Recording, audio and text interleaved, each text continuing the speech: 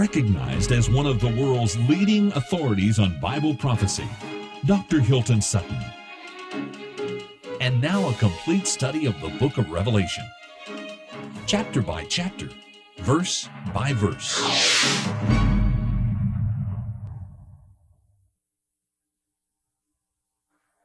Let us continue in chapter 17. And our last statement was found in verse 6 And I saw the woman, this is the harlot, drunk with the blood of the saints and the blood of the martyrs of Jesus. And when I saw her, I marveled with great amazement. So, uh, John, now you must remember that John, by the Holy Spirit, is from his post of advantage able to see the future.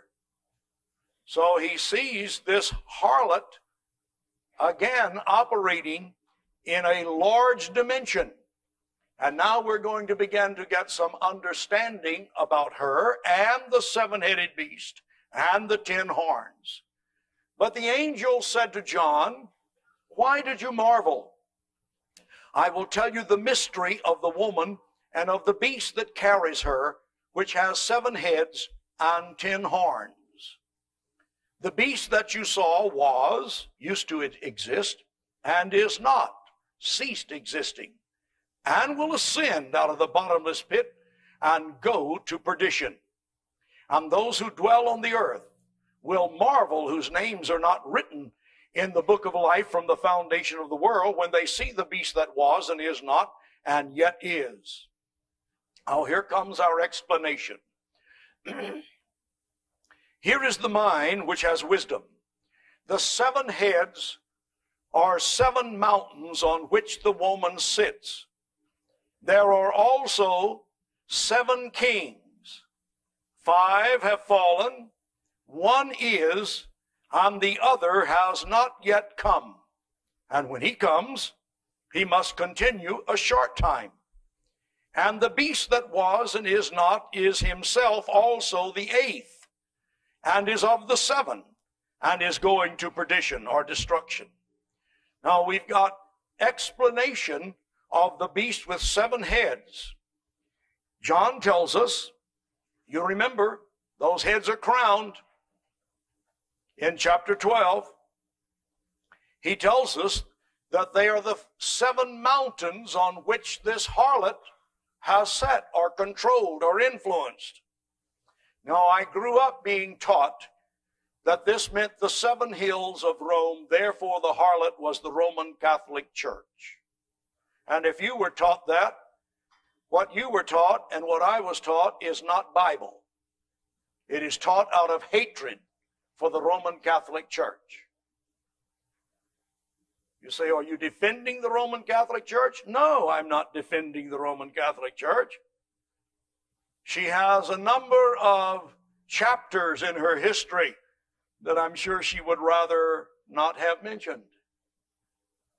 But I don't hate the Roman Catholic Church. I was taught such hatred for the Roman Catholic Church that many of the people I grew up with hated Catholics. Now, I had a problem because all of my family on my mother's side were Irish Roman Catholic.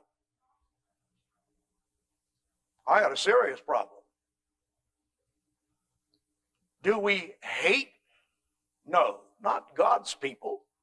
That's a human characteristic that ought to be overcome, and the characteristic of love take its place. But by no stretch of the imagination is the harlot the Roman Catholic Church. Now let's find out why. This word mountain as it is used here, is not symbolizing a pile of rock. It is identifying a kingdom, an empire. And this is true throughout the scripture. It's like the word sea, S E A. Then when you're studying the scripture and the word mountain appears in a passage of scripture, but a mountain is not identified either by name or geographical location. If you will re-examine all of the related scriptures, it will be talking about a kingdom or an empire. Daniel uses them interchangeably in his uh, uh, book. So this word mountain then is better interpreted kingdoms. Remember, there was a crown on each one and a king over each one. Verse 10. So we're looking at the seven heads. Here are those kingdoms or empires. The Egyptian empire, the first head. The Assyrian empire, the second head. The Babylonian empire, the third head. The Persian empire, the fourth head. The Greek empire under Alexander the Great, the fifth head. Notice, if you will, that John said there are seven kings, five have fallen, and one is. What was that? The sixth head. What was the empire or kingdom existing in the days that John received this prophecy? The Roman Empire. Now, it was the Roman Empire that was the head that was struck a mortal blow. And it was Jesus who struck that blow, and Daniel chapter 2 will tell you that. I mentioned it earlier in the week, but you'll remember in Daniel chapter 2, Nebuchadnezzar had a dream. In his dream, he saw the, a great image of a man who had a golden head, silver chest and arms, brass belly and thighs, legs of iron, feet of iron and clay. And he saw a stone cut out without hands, a sovereign act of God. And that stone came and struck the image uh, uh, at its feet. Part of the Roman Empire. Who was the stone? Jesus. Jesus struck the death blow to the Roman Empire, according to Daniel chapter 2, and brought down the whole image. And if you will take the time to read Daniel chapter 2, verses 34 and 35 and 44 and 45, you're going to discover that that stone was to become a great kingdom and fill the whole earth. So Jesus came during the Roman Empire, struck that empire a death blow, set up the foundation for the church, and the church is in the process of being the kingdom of God on the earth today, and we will fill the whole earth. Hallelujah. So, by no stretch of the imagination can you make the seven mountains the seven hills of Rome. If you're looking for a city with seven hills, you probably have one or two in Canada. There are several in the United States. All right. Now notice, each head was crowned, each horn was crowned. There were five kings, he, or, or, ten, or seven kings, five had fallen, one is yet, the other is not yet come. And when he comes, the seventh one, he must continue a short time, not at length a short time. Well, I said to you a moment ago that as of the 1st of January 1995, the seventh head became prophetically operational. It is now in existence. It began to come into being in 1957 when England, excuse me, France, Belgium, Holland, Lux- Luxembourg, West Germany, and Italy formed the common market, the European Economic Community. It remained a six nation group until the 1st of January 1973, when England, Ireland, and Denmark joined the common market, bringing it up to a total of nine. It remained a nine nation group until the 1st of January 1981 when Greece became the 10th member. When Greece became the 10th member in 1981, that group was then prophetically identifiable. Notice my terminology, please. Prophetically identifiable as the formation of the seven head, the seventh head by ten horns. We're going to read in a moment that those ten horns are nations. In 1991, the common market became 12 nations when Spain and Portugal joined the common market.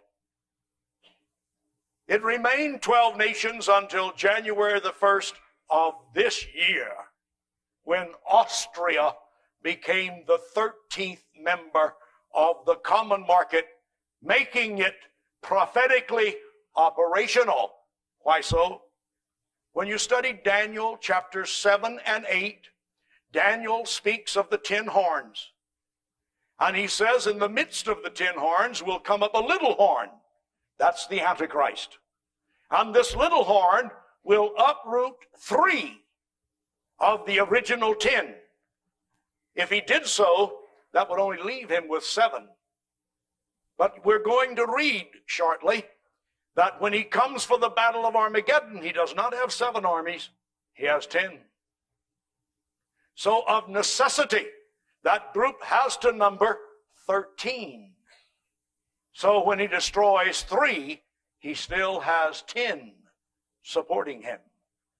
Immediately, three weeks ago, the common market declared seven of our nations are now opening their borders to all of their population and there are now seven nations in Europe that you need no passport or identification to go from one nation to the other, just like you don't need anything uh, to go from one province to the other or I from one state to the other.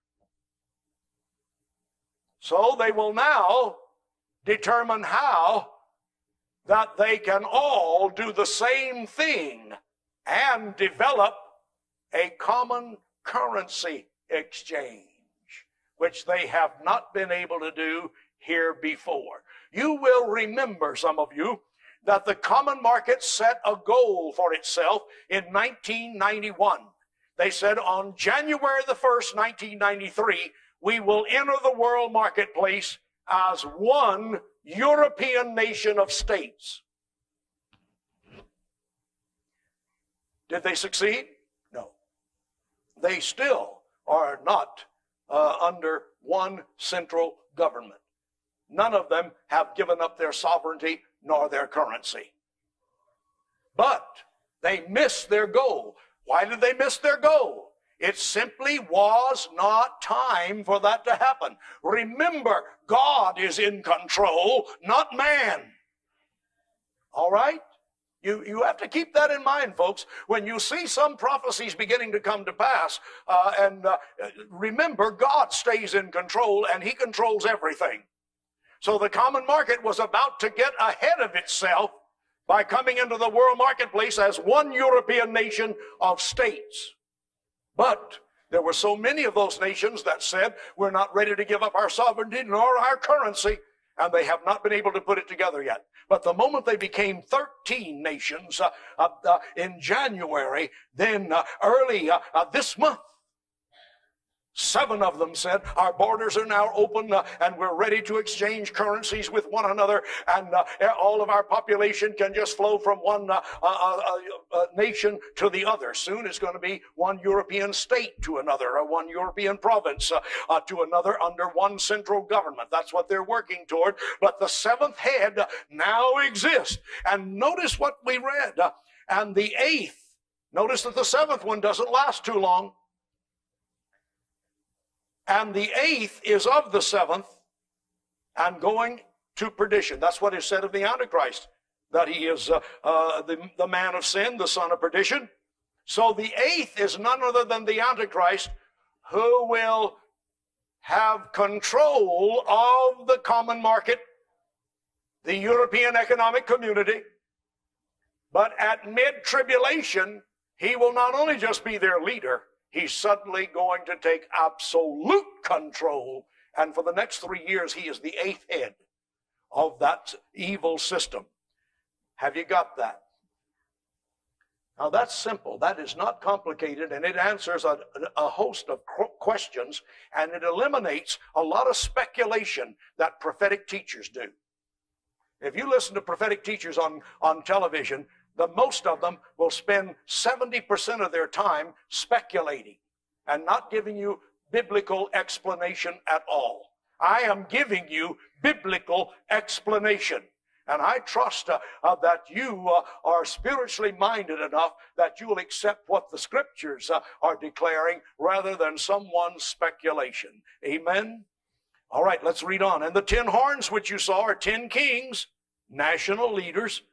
We don't have many kings today, but we've got uh, national leaders who have received no kingdom as yet. Now, they uh, have been leading their nation, but let's read on to find out what's going to take place. But they receive authority for one hour as kings with the beast. These are of one mind and will give their power and authority to the beast. Now, what they are to receive by giving their power and authority to their chosen leader, who is the Antichrist, what they are to receive is when he comes into control of the world as the devil wants him to. Of course, we've already discovered he won't do that. He won't succeed. But he thinks he's going to succeed. And he promises them in exchange for their power and their allegiance, he promises them that they will rule over one tenth of the earth under him. That's the exchange for their power and allegiance, that they will be one of the ten uh, world uh, leaders under him, should he conquer the world, which he doesn't, of course. Now, notice they're of one mind, will give their power and authority to the beast. These same ones, ten of them. Notice it's ten, not seven. These will make war with the Lamb, and the Lamb will overcome them, for he is Lord of lords and King of kings. And those that are with him, when he overcomes them, are called, chosen, and faithful. Now, this verse 14 is giving us a preview of the Battle of Armageddon that we'll pick up in chapter 19. So these ten kings, now, if if, if they were only 10 to start with and he destroyed three and it came time for the Battle of Armageddon, he'd only have seven. But please notice, when it's time for the Battle of Armageddon, he has 10. And tonight, the number of the common market is perfect for that to happen. You say, could other nations in the near future join the common market? Yes. But if they do, in due course of time, you're going to see some others drop out. I'm praying that England will drop out. I'm seriously praying. I have no uh, uh, major influence in England. I hope to have. And uh, uh when I do, I'm going to uh, uh, seriously exercise it in as many areas as I can to, to try to convince them to drop out of the common market. It is headed for destruction. Say, why are you concerned for England? May I tell you quickly? I stood in the cathedral at Canterbury not too long ago. And while in the Cathedral of Canterbury with my wife and a young couple that traveled, traveled with us, the presence of God began to fill that ancient cathedral. It was glorious. The presence of God was so heavy. We were in the, the uh, pulpit and altar area and the area where the royal family sits. And the presence of God became so strong I wanted to prostrate myself on the floor, but I felt like I don't dare move. I don't want to disturb uh, this divine presence. When I heard my, we'd all divided looking at various and sundry artifacts. None of us were within 15 or 20 feet of each other. And I began to hear my wife declare, God is in this place. And then I heard the young man uh, uh, uh with me uh, uh, make a statement similar to that. And in that divine presence, God spoke to me. And he said, I am not through with England. I am not finished with this cathedral. And I said, Sir. And he repeated it. I am not finished with England, and I am not through with this cathedral. And then that divine presence that was so strong began to lift. When it had lifted sufficiently, the four of us came together very quickly to discuss what we had sensed during that time. I was to learn before leaving that the cathedral can be used for special services. I am soon going to begin the uh, initial steps to secure the Cathedral of Canterbury for an all British Isles crusade. Now, folks, I'm telling you, God's at work. God's at work. And God has blessed me with a few family credentials.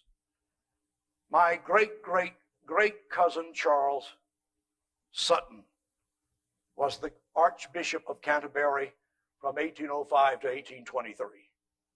I have credentials. I've already been, uh, I've already been uh, uh, uh through, through the church to check some things out. Folks, pray. God's going to do great things from this point on. You just will get ready for it and start praying and believing God for it. So I'm praying that England will drop out of the common market. Amen. So, and there's some good things happening over there. Believe me, there is. Let's go on. Now, there's a lot of material to cover, and they're going to push the clock back a, a little bit uh, the other way. Now, so uh, he says that these uh, ten kings uh, are going to make war with the Lamb at the Battle of Armageddon. Verse 15. And he said to me, The waters which you saw, where the harlot sits, are people, multitudes, nations, and tongues. And the ten horns which you saw on the beast, these will hate the harlot and make her desolate, naked, eat her flesh, burn her with fire. For God has put it into their hearts to fulfill his purpose, to be of one mind, and to give their kingdom to the beast until the words of God are fulfilled. Now, why do these kings hate the harlot? Because she has influentially, religiously controlled the people, not them. Follow me. The majority of the people of the world are controlled by religion, not governments. Governments can change, and the people go right on in their religious involvement. It's amazing. So, this harlot they hate. And the woman whom you saw is that great city which reigns over the kings of the earth. And many have interpreted that right away as Rome. That's not Rome. The harlot is not the Roman Catholic Church. The harlot has been around since the Egyptian Empire. The Roman Catholic Church did not exist then.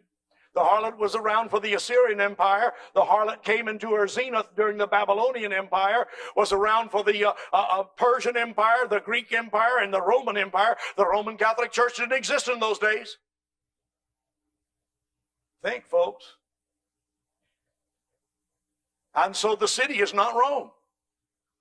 What city has major control over the world's leaders at this present time? Follow me. There is a city in which the World Bank is headquartered. There is a city in which the World Council of Churches is headquartered. The same city and the World Council of Churches is the present day identity of the harlot.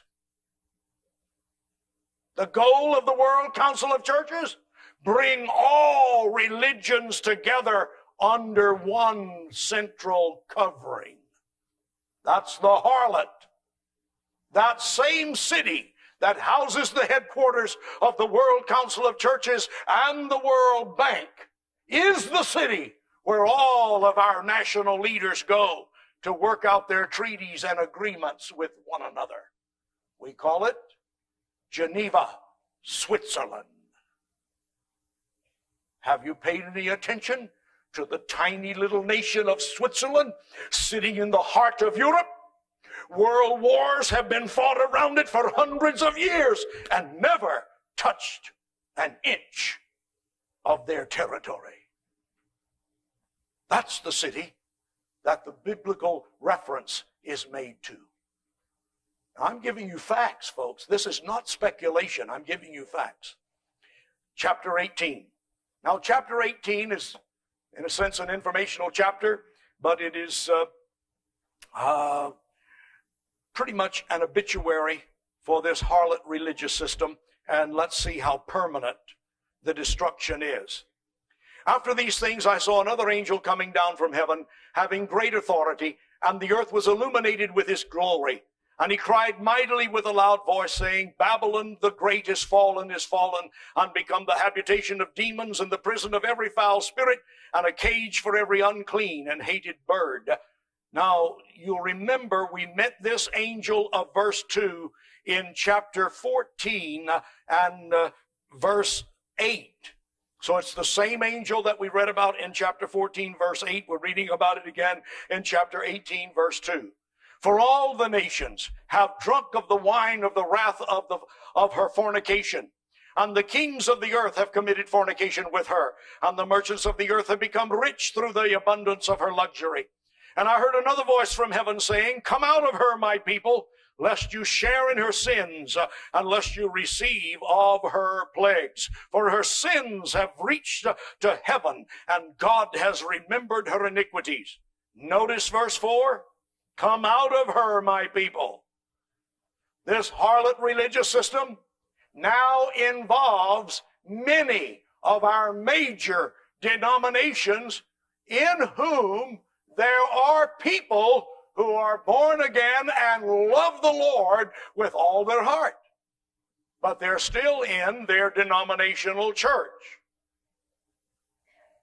In due course of time, and I don't think it's very much further down the road, there will be a strong call for the Holy Spirit, from the Holy Spirit, for those folks to leave that denominational structure when it is very evident that it is headed toward permanent membership with the World Council of Churches. The World Council of Churches denies the virgin birth. The World Council of Churches denies the deity of Jesus. The World Council of Churches uh, uh, denies the infallibility of the Scripture.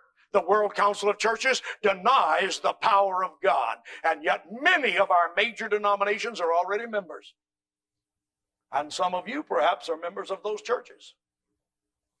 And some of the money that you put into your churches goes to support the harlot. The time will come, and the Holy Spirit is going to make a very direct a statement to you, and you're going to have to make a change. You'll have to leave that church or partake of her plagues and her sins. You say, that's too strong. I didn't write it. The Holy Ghost did. Take it up with Him. All right? Let's read on.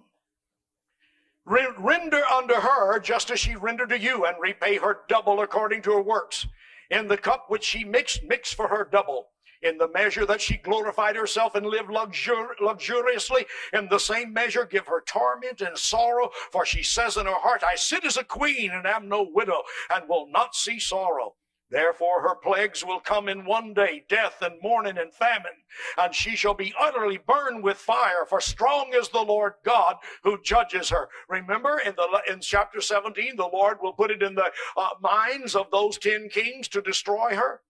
And the kings of the earth who committed fornication with her and lived luxuriously with her will weep and lament for her when they see the smoke of her burnings standing at a distance for fear of her torment, saying, Alas, alas, that great city Babylon, that mighty city, for in one hour your judgment has come. And the merchants of the earth will weep and mourn over her, for no one buys their merchandise anymore merchandise of gold and silver, precious stones, pearl, fine linen, purple, silk, scarlet, and every kind of citron wood, every uh, kind of object of ivory, every kind of object of most precious wood, bronze, iron, and marble, and cinnamon and incense, fragrant oil and frankincense and wine and oil and fine flour and wheat, cattle and sheep, horses and chariots and bodies and souls of men. And the fruit that your soul longed for has gone from you, and all the things which are rich and splendid have gone from you, and you shall find them no more at all. You're, you're discovering that the destruction of this harlot religious system is permanent. There'll never be anything like it again. Let's read on. Uh, uh, this is extremely uh, powerful.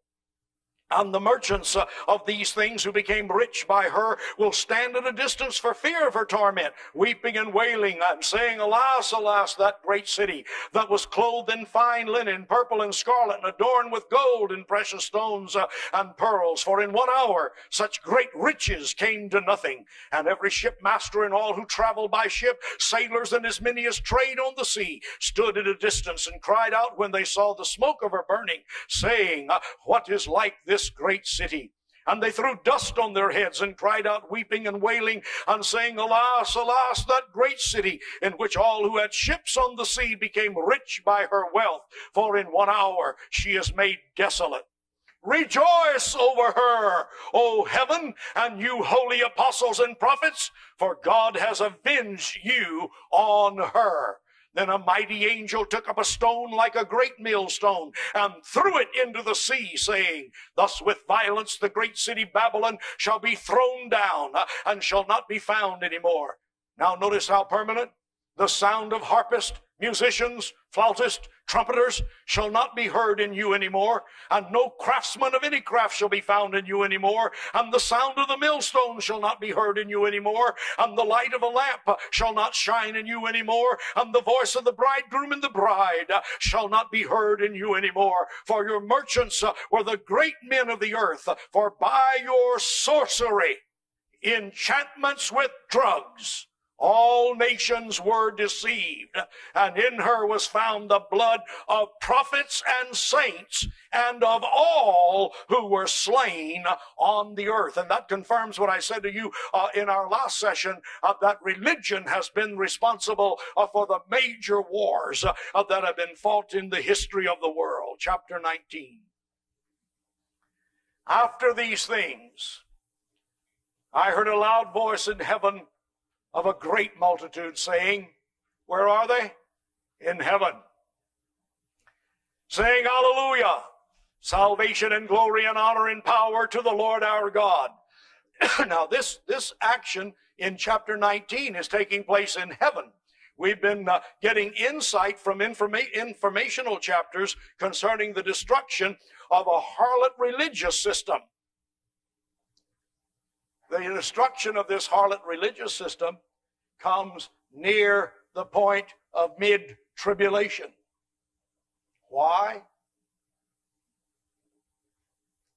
Where she's still existing in this half, she would be an affront to the Antichrist who is announcing himself God. He has used the harlot in order to acquaint himself with the people whom she has influenced. Now he is ready to have her removed, and God goes along with it. And so she is destroyed.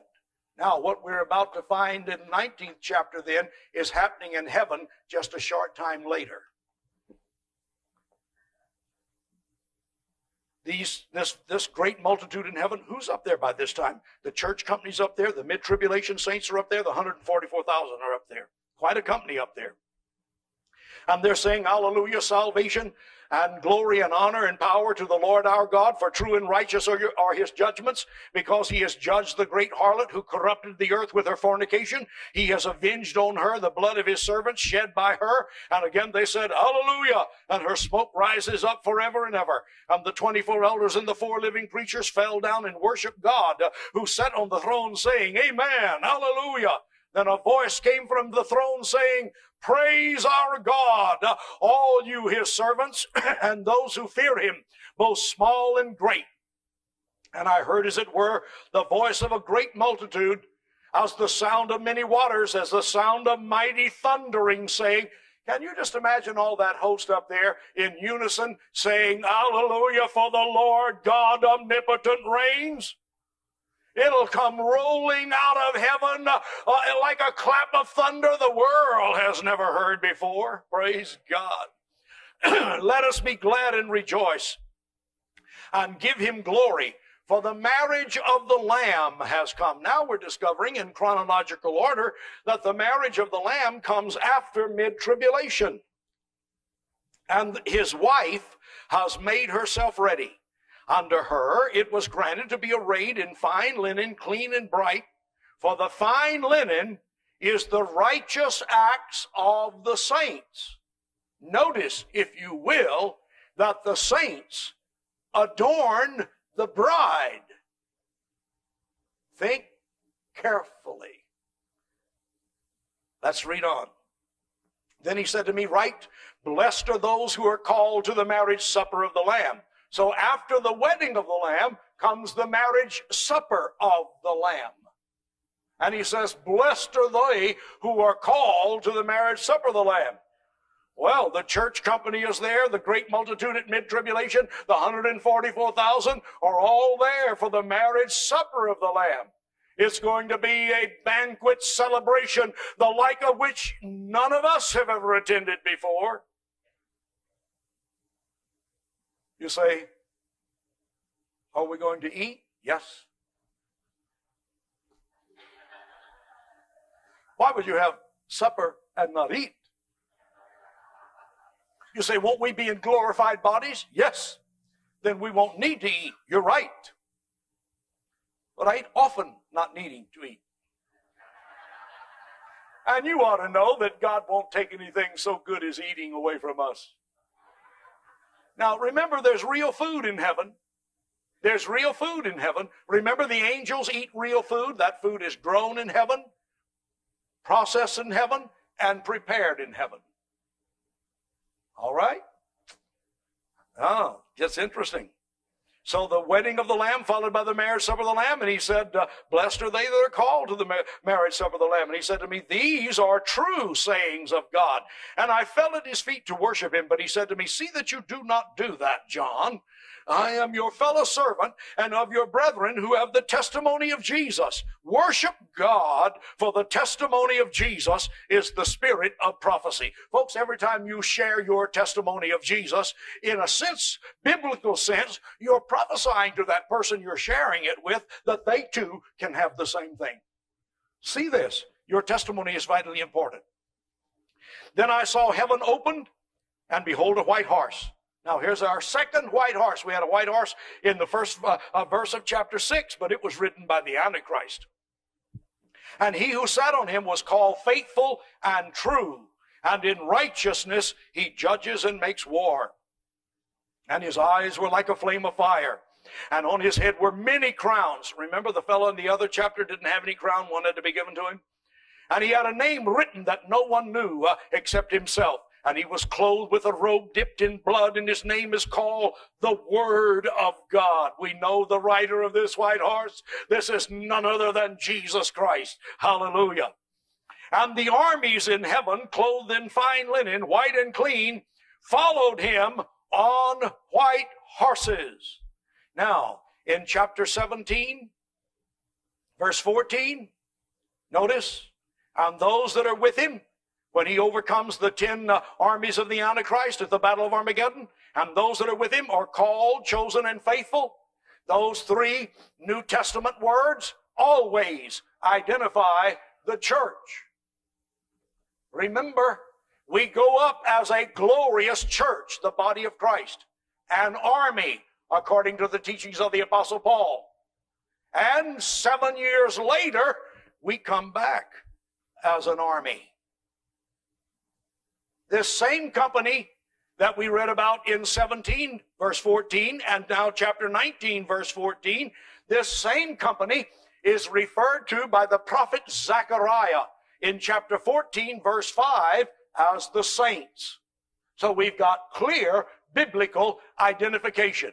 Who is this? The church taken up before the tribulation, enjoying all of the great ceremonies uh, and worship uh, through this seven year period in heaven, and then coming back to the earth with Jesus at the end uh, of that seven year period, and we come back as his army,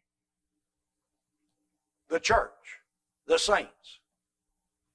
Let's keep reading.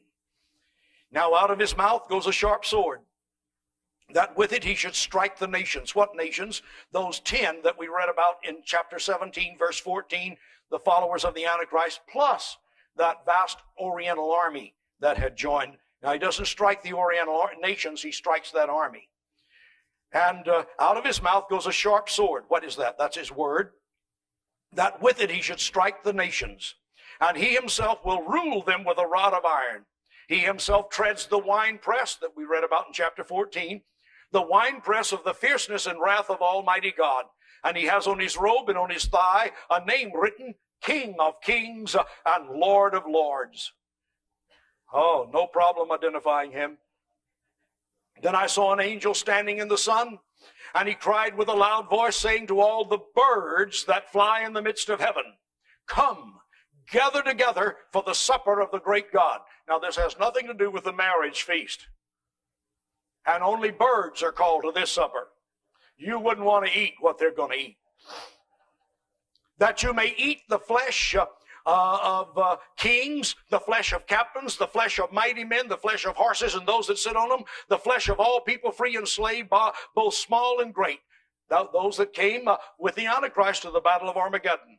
And I saw the beast, the kings of the earth and their armies gathered together to make war against him. That's that same group we read about in chapter 17, verse 14. Uh, to make war against him who sat on the horse and against his army. Then the beast, that's the Antichrist, was captured and with him the false prophet who also who worked signs in his presence by which he deceived those who received the mark of the beast and those who worshipped his image these two the antichrist and the false prophet were cast alive into the lake burning with lake of fire burning with brimstone and the rest all of their followers were killed with the sword of him which proceeded out of, of, of his mouth uh, who sat on the horse, and all the birds were filled with their flesh. now, to, to uh, pick up on that sword, you go to Zechariah chapter 14 and verse 12.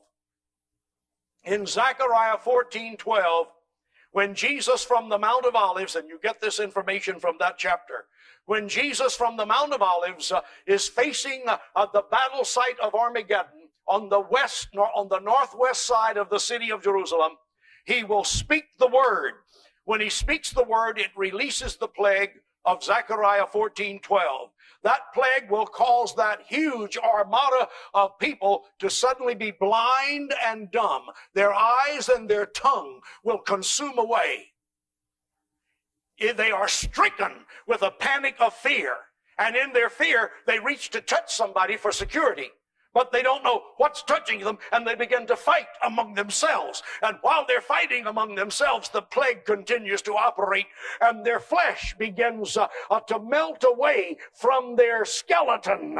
As it melts away from their skeleton, their blood will gush to the earth. Uh, the earth is not able to absorb it rapidly enough, and it will rise to the depth of a horse bridle and cover an area of some 200 miles, and it all happens in one hour. That's all. That's the Battle of Armageddon, folks. Whew. Chapter 20.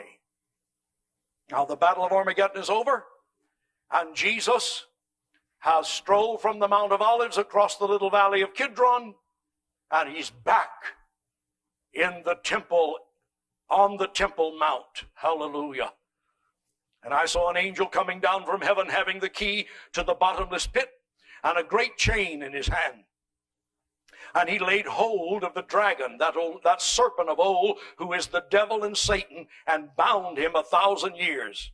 And he cast him into the bottomless pit and shut him up and set a seal on him so that he should deceive the nations no more till the thousand years were finished. But after these things, he must be released for a little while. That'll be explained as we keep reading. And I saw thrones. Notice it's plural. Whose thrones are these? Yours. Remember, we're coming back with him as his army, but we're also coming back as kings and priests to reign on the earth with him. Those are our thrones and they that sat upon them, and judgment was committed to them. We will have authority to rule over the people that survive the tribulation. And they're going to be people from many nations. Even, Zechariah tells us in chapter 14, even of the nations that the Antichrist had control over, there will be people in those nations that did not take his mark, did not worship his image, and survive and come into the thousand year reign of Christ. With chapter 20, we're now in the thousand year reign of Christ. We're out of the tribulation and we're in the millennial reign. Hallelujah. Praise God. Let's read on. And uh, he goes on to say that uh, uh, we will have judgment. And I saw the souls of those who had been beheaded for their witness to Jesus and for the word of God, and who had not worshipped the beast or his image, and had not received his mark on their foreheads or on their hands. Now, I know there's some folks going around saying it's in the head and it's in the hand. Read the scripture. Read the scripture. I know there's a teacher from New Zealand uh, uh, that's teaching some very strange things. He teaches a lot of doom and gloom. Do not follow him. I'll tell you that now. The mark is on their head or on their hands. And they lived and reigned with Christ for a thousand years. Those that had suffered martyrdom are resurrected and they come in uh, and live and reign with Christ and all of us for a thousand years. But the rest of the dead, what dead is that? The wicked dead. That's the only dead left. The wicked dead did not live again until the thousand years were finished. This is the first resurrection. So uh, uh, the first resurrection, follow me carefully, is made up of the resurrection and the catching up of the living saints uh, before the tribulation the 144,000, uh, excuse me, the converts of the 144,000, the 144,000, and then the resurrection of the two witnesses and the catching up of the two witnesses and the resurrection of the uh, martyred saints. Seven different acts make up the first resurrection. The resurrection of the wicked dead has no part of the first resurrection. That comes at the end of the thousand year reign of Christ. Let's read on. So he says, Blessed and holy is he who has part in the first resurrection. Over such, the second death has no power. Now we learned that the second death is the lake of fire. Well, none of those that were in any of these seven acts are going to have any part of the uh, lake of fire, so they make up the first resurrection, and it's the wicked dead resurrected at the end of the thousand year reign that'll be uh, uh, turned uh, to, to, the lake of fire, the second death. And uh, but they shall be priests of God and of Christ and shall reign with him a thousand years. Those that are part of the first resurrection, not the wicked. Now, when the thousand years have expired, and during that time, that thousand year period, go to Isaiah. Run your references, in, particularly in Isaiah, for what takes place during the millennium. Uh, Jesus will be ru- ruling every nation. We will be ruling and reigning here with him, all with firm authority. Firm authority, that means there are people on the earth unsaved.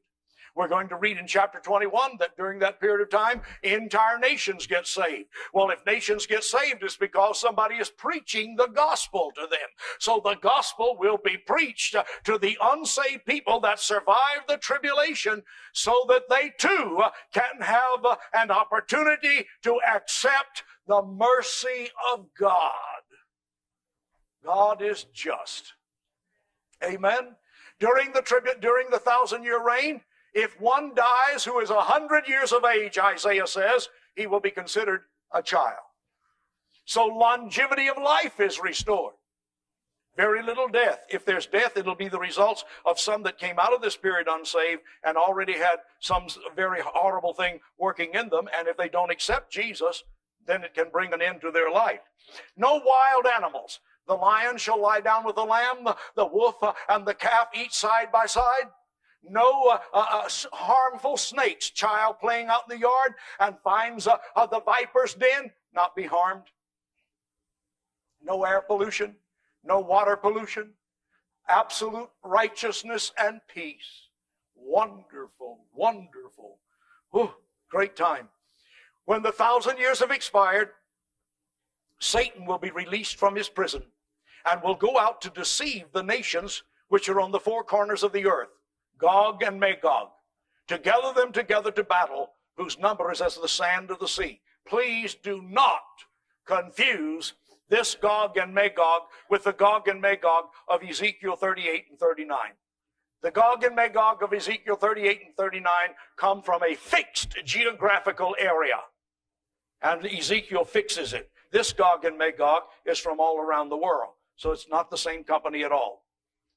He goes on to say, and they went up on the breath of the earth, following Satan, and surrounded the camp of the saints and the beloved city. What's that? Jerusalem. And fire came down from God out of heaven and devoured them that followed Satan. And the devil who deceived them was cast into the lake of fire and brimstone where the beast and the false prophet are, and they will be tormented day and night forever and ever. So why is Satan released just for a short time? It says a little season, just a matter of weeks, not long. Why? Because during the thousand year reign of Christ, people living on the earth will be having children. It's a thousand year period. No death, no tempter, no temptation. They're, no, they're never confronted by Satan. If God did not release him to go among them, so that if there are those among them that still have not accepted Christ, and during that time, they have to worship him whether they want to or not, because we rule with firm authority. And that's required of them, according to uh, Zechariah chapter 14. That's required of them. Well, you know how some folks are. They can, they'll say, well, I may be sitting down, but I'm standing up inside. And that'll be the case with some of them. Satan is released, goes among the people. All of those that haven't been saved will be tempted by him and they will follow him. That's the reason he gets a following. His following is destroyed instantly by supernatural fire, and Satan is cast uh, into the lake of fire to join the false prophet and the Antichrist.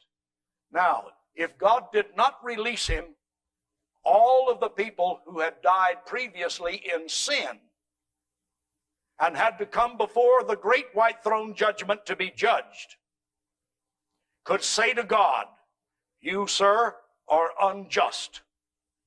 We had to overcome Satan and we failed.